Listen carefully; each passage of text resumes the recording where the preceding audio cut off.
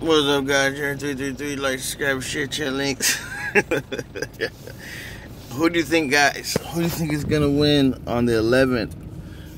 Masvidal or Usman?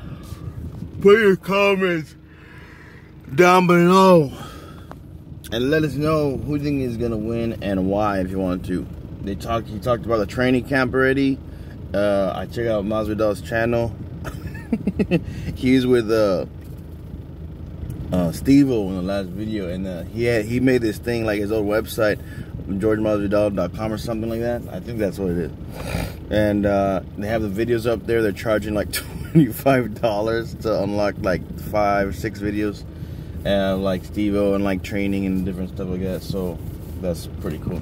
Uh, Usman, you know, I I guess he's more private, uh, but he looks he's kind of they're showing him in some videos like kind of scared of Masvidal. But I think Masvidal is gonna win personally.